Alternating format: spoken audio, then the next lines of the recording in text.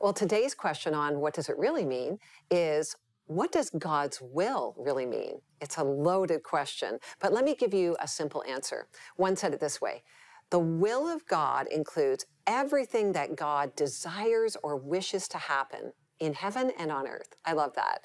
See, as a result, He has planned what He wishes to occur.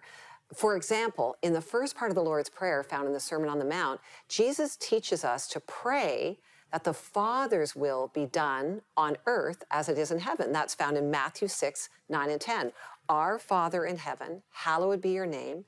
Your kingdom come and your will be done on earth as it is in heaven. Well, the Greek word for will is thelema, and the word means what one wishes or has determined will happen. That is, we are to pray that God has His wish, His will, or His plans fulfilled. So that means that your life and plans should agree with His plan. And when some people think about maybe the will of God, they're afraid that God's decided every little detail of their life. But that actually isn't true. He's not already decided everything in your life.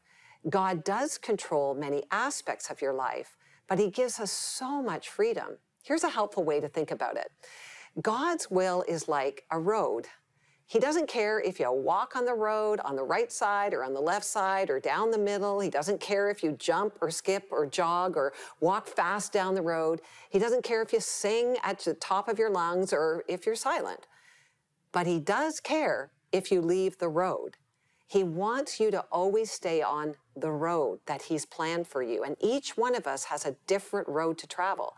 The road is actually God's will for our life. The road, it will turn and it will twist, but His plan will be accomplished. Here's our part we need to desire what God desires, and that keeps us on the road and in the will of God for our lives. And that's what God's will really means.